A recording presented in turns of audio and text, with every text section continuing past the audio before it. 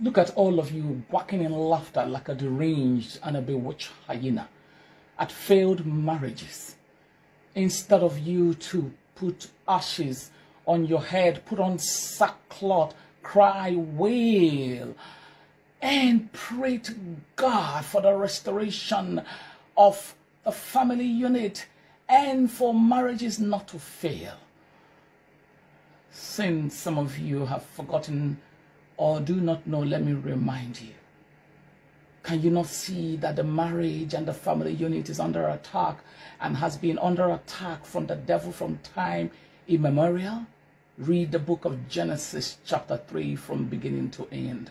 The devil hates God and hates the family unit, hates marriages, because he understands that marriages gives God pleasure and that it is the one singular unit that will help to populate the earth healthily.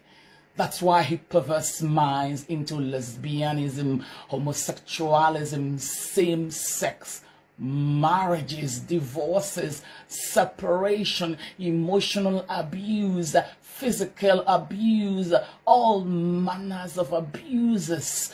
As long as the family unit and marriage is concerned, can't you see? Can't you see? Shame on you for setting up ring lights to analyze marriages, failed marriages, failed relationships, instead of you to set up ring lights to pray for marriages and the family unit.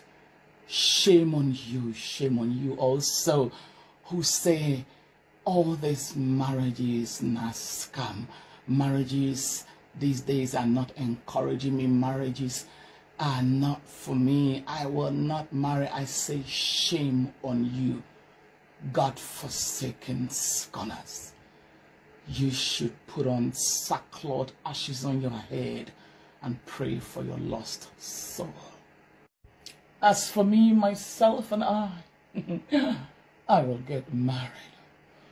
Even if it has to be at the age of 100. Yes.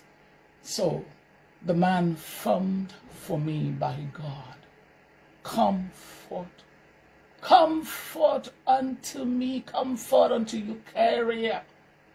Not all these K-legged, bow-legged, uneducated, unspiritual, unromantic, hot-tempered men, moneyless men that have been on the queue since. All of you should just get out, get out. Let the real McCoy come in unto me. Uh-huh. Before you all come for me, hold your fire. Let me tell you something the word of my Father, my God, in the book of Luke 137 says, For with God nothing shall be impossible. Mm-hmm. So soon enough, you all will be calling me the Sarah of our generation. And I know you do not know or have forgotten. Let me remind you as men get older, not all men, but a large percentage of men, as they get older, they begin to have erectile dysfunction, which means they are no longer hard.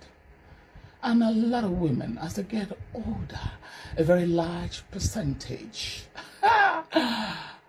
they are still very hot. So you see, he who laughs last, laughs best.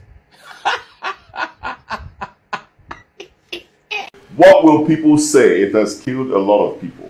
What will people say? What will they say about, oh, if I do this, what will they say? They will not say anything.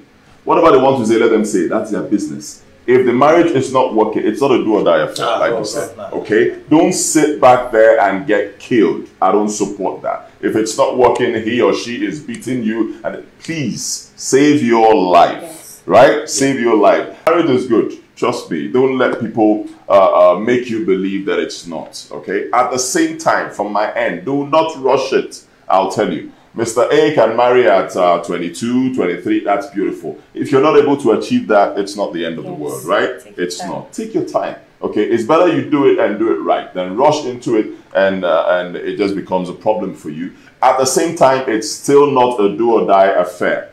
All right. If it's not working, you can still walk away. Yeah. It's better to be alive, most importantly. Yes. Be alive. Okay. That's very, very important than trying to have a good marriage and at the end of the day, you're going to uh, probably die inside, which we don't pray for. But you should be alive. Okay.